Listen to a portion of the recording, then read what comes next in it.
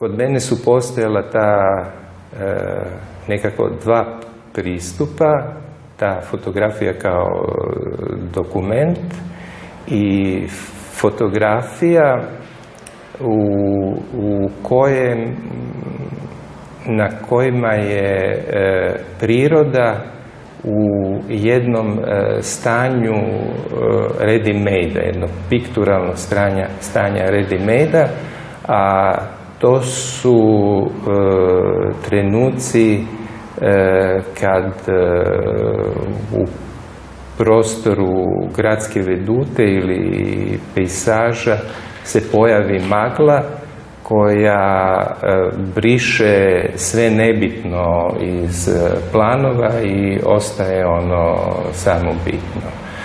Znači, e, u mom radu ima nekog absurda jer sam bježao od pikture u dokument, a onda sam svojim radom u fotografiji opet došao do tog mm. pikturalnog. Ne, zanimljivo se čini, uzevši obzir da ste se formirali negdje u 80. godinama kada je u svijetu umjetnosti zapravo vladala ta atmosfera povratka slici, da ste u tom trenutku bježali od toga prema nečem više konceptualnom i to se vidi i u samim fotografijama, u ostalom i kod autoportreta koji su izloženi ove, u sklopu e, ove izložbe, a da u trenutku kada ove, polako zamire taj, e, ta, ta atmosfera da ste upravo vraćate ove, toj pikturalnoj kvaliteti. Ali nekako ovo moje prvo pitanje upravo išlo u nekom smjeru e, s jedne strane ove subjektivnosti o kojoj ste govorili, a sa druge strane odnosa prema mediju.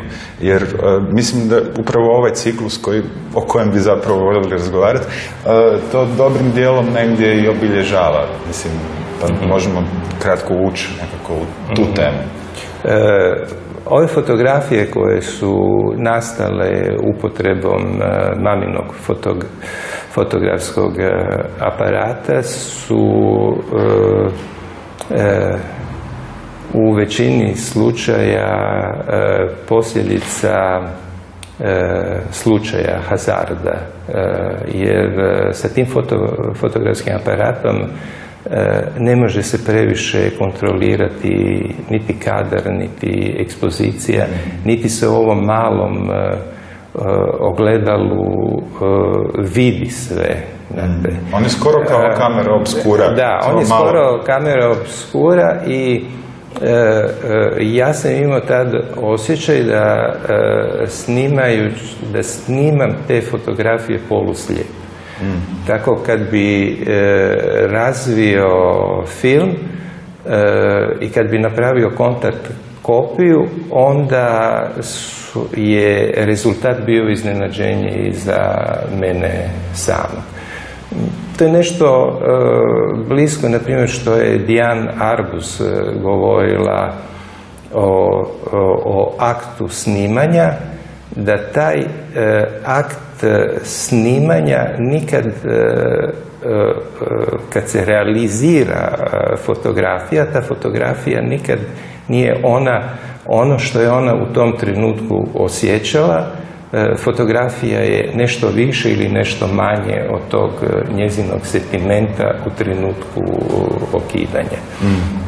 Ovaj, dio same izložbe predstavljen u vitrini unutra, su zapravo baš i mamine fotografije. Dakle, fotografije koje je radila vaša mama sa istim tim fotoaparatom, koji je inače stari, čini mi se Kodakov model, bi se prodavao za, ne znam, par dolara. To je amaterski fotoaparat, ono, idiot svog doba, recimo. Je, je. Pa možete objasniti neku priču, zbog čega je bilo važno da se unutar ovog ciklusa pokažu i te fotografije i koliko je u fotografskom smislu, koliko ste, kako bi rekao, preuzeli iz, eh, iz maminog pogleda?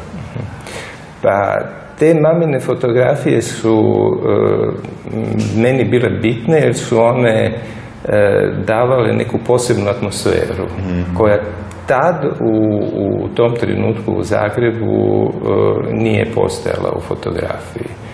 Postojala je ono što se zove Polotova fotografija i onda ona fotografija oko fotokluba Zagreb i neki autori koji su gurali e, neku, neku svoju fotku. Interesantno je da fotografije koje su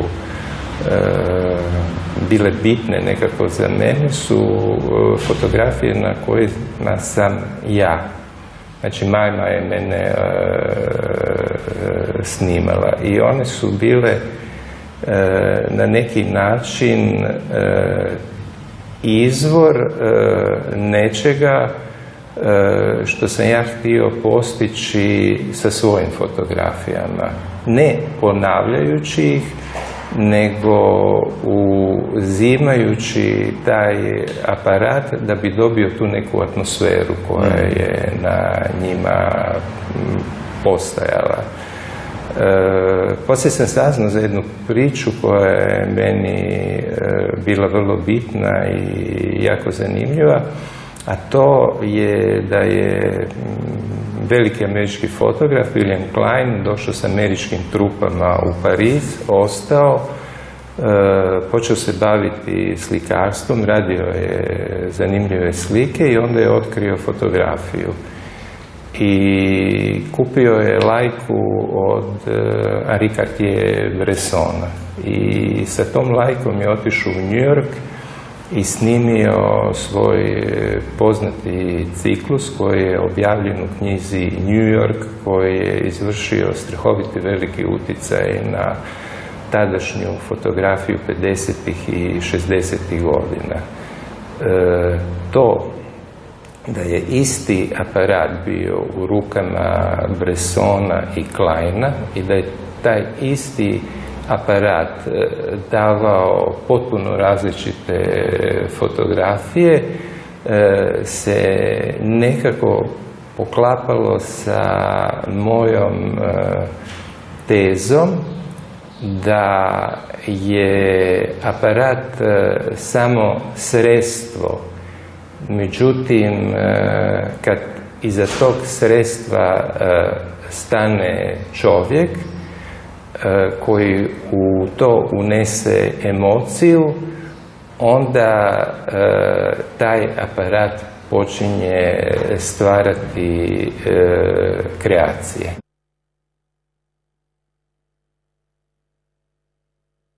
Niz ciklusa fotografija zapravo nastaje u direktnoj suradnji i komunikaciji s jedne strane sa Josipom Vaništom, onda sa Tomislavom Gotovcem i sa Julijem Kniferom, naravno nizom drugih, ali to su nekako tri autora s kojima ste bili najbliži i s kojima ste mhm. zapravo radili izložbe kao kustos, čemu ćemo se ovaj, mhm. kasnije vraćati. Ali interesantno mi je u tome i svojstvo tih fotografija, gdje zapravo postoji nekoliko različitih mogućnosti. Jedna je da se radi dokumentu, u jednom slučaju se radi o nekoj vrsti koautorstva. Nigdje tu nije riječ baš samo o fotografiji, iako je mm. medij naravno ovaj, mm. uvijek isti. Koliko su ti ljudi i te njihove recimo poetike, njihovi habitusi definirali ono što ste u tim trenucima radili s njima? Pa jako puno. oni su na neki način bili moji idoli ovaj, tih, tih godina.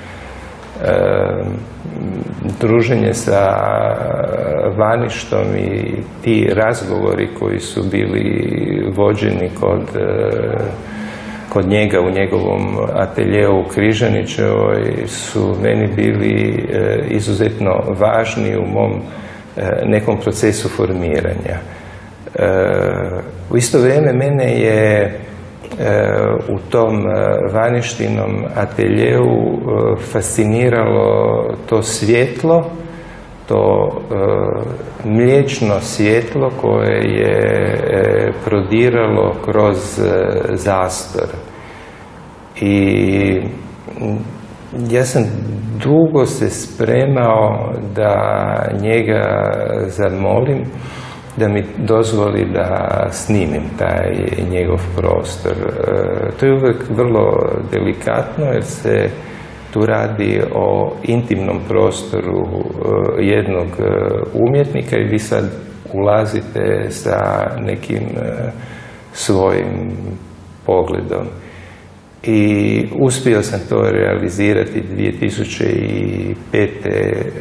godine A zbog čega sam inzistirao toliko? Jer sam vidio jednu seriju fotografija koju je Luigi Giri snimio u ateljeu Đorđe Morandija, koji su mi se činile bliske po obliku i kvalitetu svjetla koji sam vidio kod Vanište u njegovom, njegovom ateljeu. Znači, to je to bilo. Isto tako sam snimio Kniferov atelje u Parizu i serije fotke, fotki u Villarson u Nici gdje je on živio prije Pariza i u Parizu, zatim Kožerićev atelje u Medulićevoj i njega isto i zatim jedan veliki ciklus koji sam napravio sa Tomislavom Gotovcem, snimajući ga u Krajiškoj 29, prvo na krovu zgrade, poslije na štengama, onda u njegovom stanu i u podrumu. I tu se desilo isto nešto zanimljivo jer su se na kraju pojavila tri svjetla, znači danje svjetlo na krovu i štengama, umjetno svjetlo u prostoru njegovog stana i blic koji smo morali upotrebljavati u podrumu jer nije bilo dovoljno, dovoljno svjetla. To je jedan ciklus koji je meni jako drag jer Gotovac koji je izvodio performanse u javnom prostoru, ovdje izvodi performanse u svom intimnom prostoru. taj performans nije javan, to je performans za prijatelja i to je taj odnos jedan na jedan. Ali zanima me i odnos između vas dvojice kao autora unutar toga. Ovi, tim više kad smo spomenuli one kako ova tri ili četiri autora, svi su vrlo različiti, ali sami ciklusi fotografija koje su oko njih nastale su iz istog razloga ove, vrlo različiti. Na koncu, recimo, u slučaju Gotovca, gotovo svaki dokument o njemu, uključujući fotografiju, uključujući radove koji jesu njegove radove ili radove koji on nije recimo okino, dakle on nije fotograf, nekoga je ove, zabilježio, se obično tumače i njima se prilazi iz vizure neke ideje filmskog medija, odnosno njegove uloge kao režisera, povlaka, protagonista ove, glumca. I možete li probati recimo definirati vaš odnos naspram njema, njega u tim situacijama? Mislim, da li on u toj situaciji recimo režiser, a vi ste što ili kako, kako to funkcionira? Ovako, e, e, sa Gotovcem je bilo jedno nepisano pravilo koje je govorilo da u trenutku kad ti počneš raditi s njim je već 50% njegovog autorstva. Jer ta suradnja s njim ne nastaje spontanost, nastaje nakon puno razgovora i on vas je morao prihvatiti nekako, steć, morali ste steći njegovo povjerenje. Gotovac je bio autor koji je imao dosta, mogu to reći jer sam ga poznao, on je imao dosta veliku tremu krenuti u kreaciju nečega. Imao je neke otpore, moralo ga se u nekim trenucima gurati, međutim kad bi krenuo onda je to bilo veličanstveno, je to bilo naprosto veličanstveno, to je u tom trenutku onda krene njegov tsunami kreacije koje vas potpuno preplavi i vi na neki način postajete mediji u njegovim rukama. Tako da, on, je imao nevjerojatnu karizmu, znate, nevjerojatnu karizmu da ništa ne čineći sve učini. Bila je dovoljna njegova pojavnost. On je imao fascinantnu pojavnost i e, sad kad vidite e, sve autore u Zagrebu koji su e, radili sa Gotovcem, to su negdje njihovi vrhovi kreativni ovaj, i kod Vesovića i kod Posavca i kod Sandra Đukića znači kod svih tih autora koji su malo dublje ušli u, u u, neku suradnju e, s njim.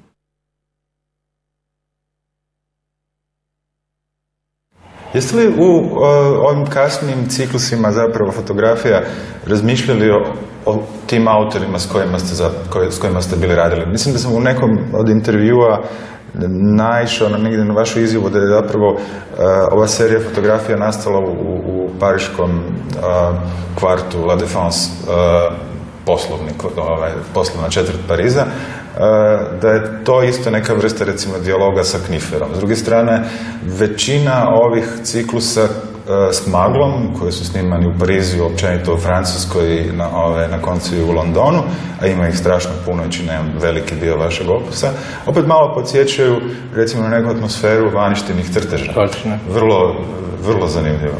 Je li to namjerno ili je nešto što je jednostavno proizašlo iz nekog iskustva, blizine, slučajnosti? Mm, pa ja e, dosta vjerujem u tvrdnju e, Marcel Dišana da je e, kreativni čin nesvjesni čin. Znate, ovaj, koliko god u tim nekim mojim ciklusima izgleda da je postao, postojao neki koncept e, e,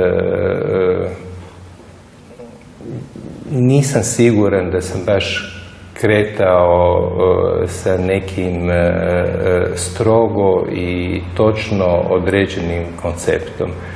On se formirao tokom, tokom vremena. Znate.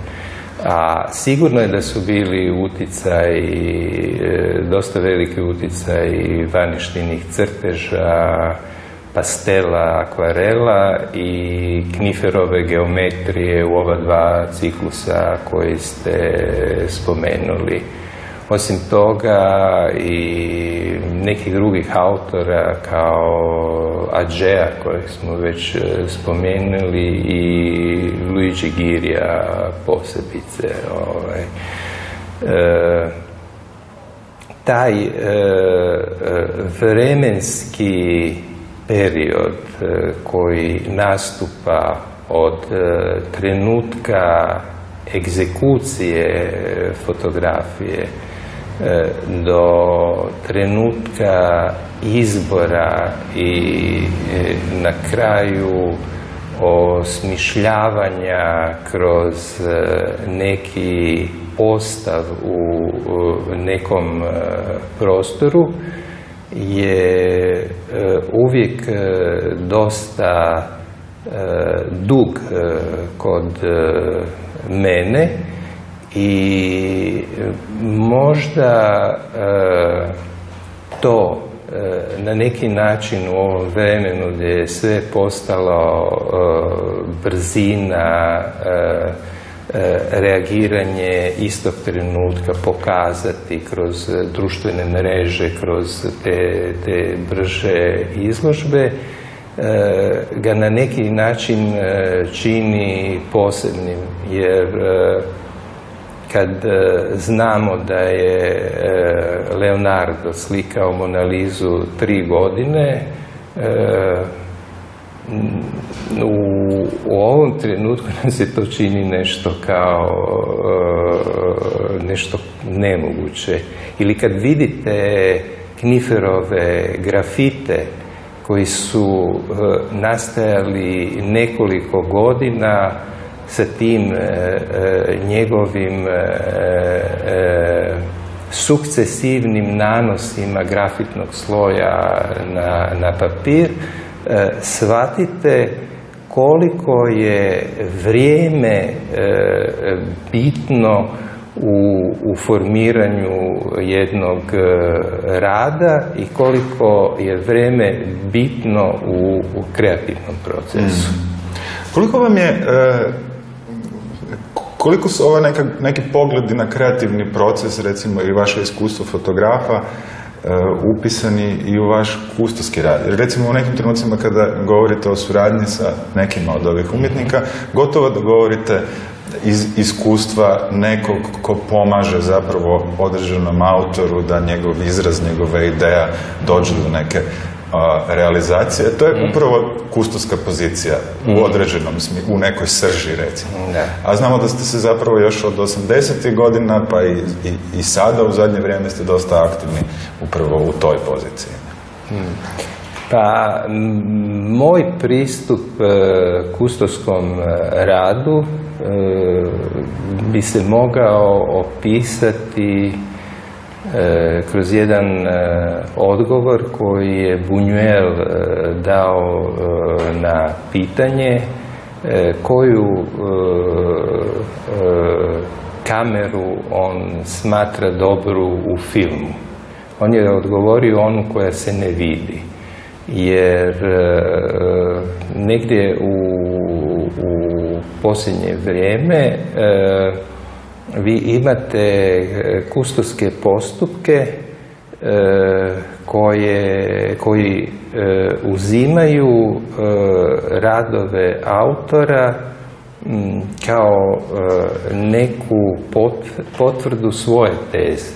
Dakle, nije rad bitan, nego je bitan taj e, kustoski pogled, ta ideja i onda to ilustriramo na neki način e, kroz, e, kroz radove umjetnika. Ja sam htio primijeniti, to sam uvijek primjenjivao u, u, u, u svojim nekim kustoskim postupcima, da sam ja u pozadini, ovaj, da, da rad umjetnika E, je ono najbitnije što, što, što čini neku izložbu.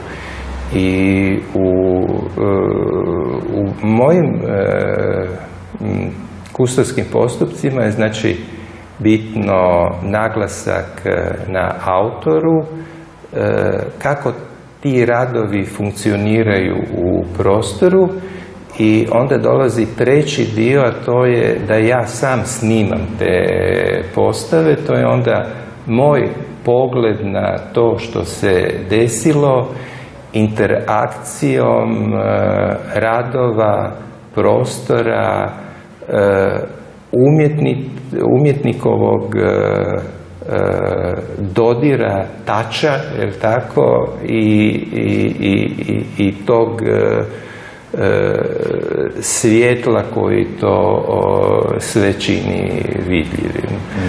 E, mislim da e, su mene na neki način uvijek interesirale izložbe koje su umjetnici kustosirali. Mm. Vi ste imali u, gore na Gornjem gradu, u Magićevoj prostor galerije 11 e, gdje je vaništa e, e, druge polovice 70. godina radio briljantne izložbe u, u tom malom prostoru. Znači, to je uvijek bilo nekoliko artefakta i jedan pano sa jednom arhivskom dokumentacijom. Mislim da e, arhive postaju tako da je e, Muzej moderne umjetnosti i u Varšavi e, napravljen baziranje na arhivama umjetnika. Ovaj. To je fascinantno, znate, vidjeti fotografije iz perioda, neka pisma, neki mm. zapisi kako je to funkcioniralo u nekom grafičkom dizajnu u tom periodu i Vaništa ima dosta tih stvari koje on stavljao pod stakla koje nikad nisu pokazane. Da. Ja mislim da su to dragulji. U recentnije vrijeme ostvarili se čitav niz izložbi u jednoj galeriji u, Parizu koji su posvećeni upravo ovim autorima s, s kojima ste sustavno radili, ali zapravo ne znam pozadinu toga. Kako je došlo do toga da, da vi radite tu, uvjetno rečeno recimo seriju izložbi u tom prostoru? Pa to je došlo tako, 2010.